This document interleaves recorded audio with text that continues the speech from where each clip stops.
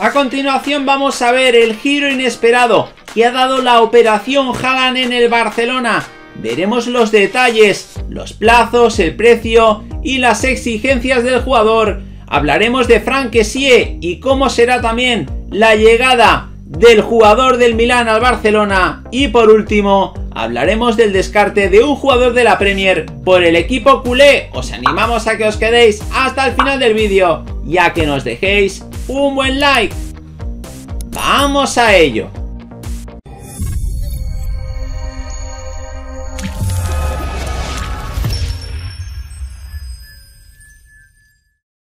Hola de nuevo gente, ¿cómo estáis? Bienvenidos un nuevo vídeo de Objetivo Gol. Vamos con la última hora del Barcelona.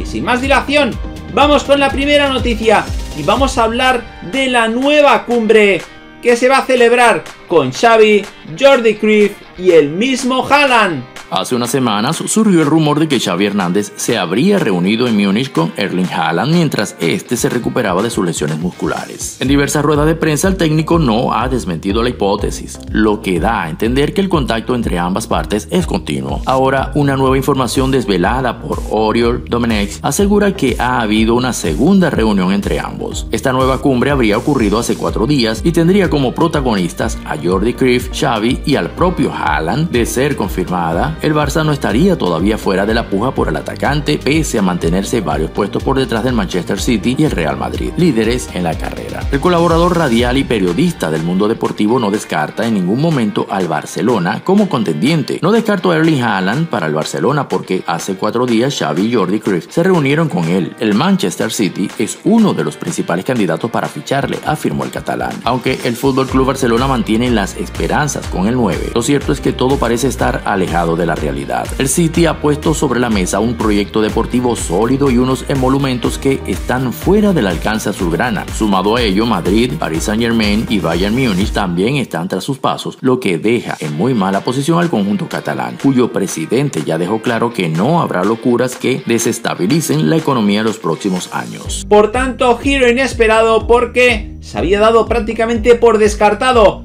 al noruego. Y vamos a hablar ahora cuáles podrían ser los plazos, el precio y las exigencias del jugador. El Barça está a la expectativa de lo que decida hacer Erling Haaland con su futuro. La estrella del Borussia Dortmund tiene a los del club más grande de Europa tras sus pasos y parece que cada vez está más cerca de desvelar cuál será la camiseta que vestirá durante las próximas temporadas. Ahora, una información del periodista Fabricio Romano ha aclarado varios puntos importantes de su traspaso. En primer lugar, todo tendrá que pasar por sus manos, pese a que el dinero es un factor importante en cualquier negociación. Lo cierto es que el noruego nunca ha puesto lo económico por encima de lo deportivo. Ya en el pasado lo ha demostrado cuando prefirió al RB Salzburg por encima de la Juventus y posteriormente al Dortmund sobre el Manchester United. Un proyecto deportivo sólido y buen entrenador serán cruciales en su decisión. Además, el contacto entre clubes es inexistente, ya que las conversaciones pasan estrictamente por el entorno del jugador sin necesidad de involucrar a la entidad germana. De allí vienen las altas comisiones que desean percibir tanto su agente, Mino Rayola, como su padre Alf Inch Haaland. Ambos saben la calidad de jugador que representan y si quieren sus servicios deberán pagar al precio adecuado. Todo apunta a que el ariete nórdico tomará una decisión en las próximas semanas y que las conversaciones para convencerle no se alargarán demasiado. El futbolista tiene varios días evaluando todas las propuestas que tiene sobre la mesa y no se alargará hasta finales de temporada para determinar su futuro. Las próximas tres semanas dictarán sentencia. Su valor de mercado continúa siendo el segundo más alto según Transfermarkt, tasado en 150 millones de euros. Su cláusula de rescisión está fijada en 75 kilos, pero su precio podría ascender después de abril. Se estima que la operación en total se acerque a los 250 millones que contemplan su salida de Alemania, las diferentes comisiones y el sueldo bruto del jugador. Según asegura el propio Romano, las historias que afirman que clubes como el Real Madrid están preocupados por el estado físico del 9 son totalmente falsas. No habría ninguna duda en el aire sobre la capacidad de Haaland y tampoco sobre una posible recaída. Pese que estuvo varios meses fuera de actividad, ya ha vuelto a los terrenos de juego y todo fue parte del proceso de recuperación para no arriesgarle de más. La mesa está servida y el mercado veraniego pinta como uno de los más movidos de los últimos años. Vamos a hablar ahora de Frank y es que al contrario de lo que se había dicho,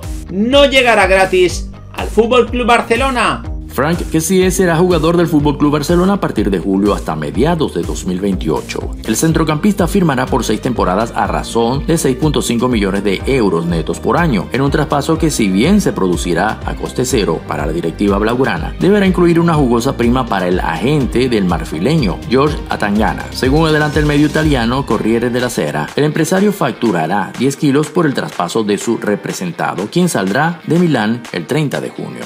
Si llegó al conjunto rosonero en 2017 procedente de la Atalanta a préstamo por dos temporadas. Tras dos años en San Siro, el Milán decidió comprarlo en 2019 a cambio de 24 millones de euros y ahora se marchará libre el Barça. El jugador de 25 años es titular indiscutible para el técnico Stefano Pioli y esta temporada ha disputado un total de 29 partidos, anotando 6 goles y sumando una asistencia en la fase de grupos de la Champions League, donde los italianos terminaron últimos detrás de Liverpool, Atlético de Madrid y Porto. La llegada del marfileño supone un refuerzo muy importante para Xavi Hernández, ya que representa una variante para un puesto en el que Sergio Busquets no ha tenido competencia desde hace mucho tiempo, que sí aportará músculo en la medular blaugrana, ayudando en la recuperación y garantizando una salida segura en cada ataque. Además, el centrocampista suele proyectarse al ataque gracias a su inteligencia para cubrir terreno y buena pegada a media distancia. Sin duda, Frank es un jugador muy completo que llega a una zona del campo donde el único 5 nato es Busquets. Frankie de Jong suele ocupar un rol un poco más ofensivo y siempre ha necesitado del apoyo de Sergio en la recuperación y salida, por lo cual la llegada del marfileño es vital para darle descanso a un Busi que cumplirá 34 años el próximo julio. Otro jugador que apunta a tener un rol muy importante en la 2022-23 es Nico González. En principio que sí no tendría inconvenientes para acoplarse junto a él y Pedri, otro jugador irreemplazable para Xavi. El de Oragallo se ofreció al Barça en el verano de 2020, pero Ronald Koeman y la directiva querían a Georgino Wijnaldum y consideraron que el marfileño era muy caro. Finalmente el neerlandés se quedó un año más en Liverpool y optó por marcharse libre al Paris Saint Germain, donde ha completado una primera temporada decepcionante. Dos años después, que si cumplirá su deseo de jugar en el Barcelona llegará en una temporada que promete ser mucho más ambiciosa que las dos anteriores en Cataluña. Y ya para acabar,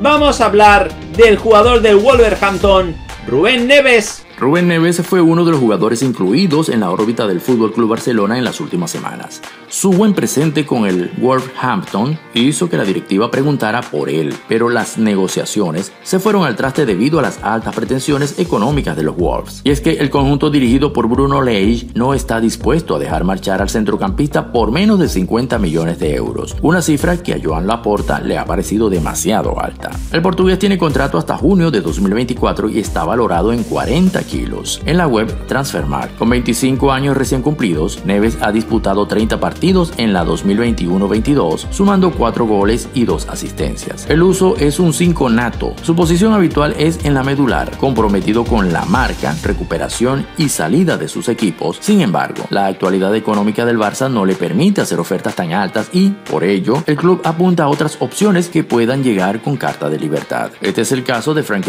uno de los refuerzos que la directiva tiene más cerca de concretar. El marfileño culmina contrato con el Milan y está decidido a marcharse de Italia rumbo a Cataluña, por lo cual su fichaje podría cerrarse en los próximos días. Si bien la plantilla cuenta con Frankie de Jong y Nico González en la medular, ninguno de los dos se siente cómodo jugando en el puesto de Sergio Busquets. Por el contrario, ambos jugadores prefieren jugar sueltos hacia los costados, con libertad para proyectarse en ataque. Y es que la marca en el centro del campo ha sido uno de los puntos frágiles del Barcelona. Cuando el conjunto blaugrana pierde el balón, los rivales se encuentran y facilidades para llegar al área ante la falta de jugadores que metan pierna y logren recuperar rápido la pelota. En su momento, jugadores como Arturo Vidal e Iván Rakitic han realizado esa función, un rol con el que ni Frenkie ni Nico se sienten demasiado cómodos. Rubén Neves habría encajado en ese perfil, pero no será posible debido a su costo. Sergio es titular indiscutible en el FC Club Barcelona desde hace más de una década. Tras la marcha de Yaya Tauré en 2010, el centrocampista no ha tenido descanso y próximo a cumplir 34 años. Uzi ya comienza a sentir el desgaste. El de Abdel apunta a llegar en óptimas condiciones al Mundial de Qatar, ya que también es fijo en el 11 de Luis Enrique, por lo cual espera contar con la ayuda necesaria de cara a la 2021-22 para dosificar esfuerzos. Xavi Hernández es consciente de ello y de ahí su insistencia en fichar un jugador de las características, por ejemplo, de Seydou Keita, quien supo vestir la camiseta blaugrana entre 2008 y 2012 en 173 partidos en donde alternó titularidades y suplencias, siempre a un buen nivel. Que si se ajusta a ese perfil y el Barça espera cerrar su traspaso hasta 2028. Nada más por el momento, como siempre animaros a que os suscribáis al canal para seguir viendo todos nuestros vídeos. Y aquí os dejamos este vídeo más que interesante para que sigáis disfrutando de todas las noticias del fútbol. ¡Hasta la próxima!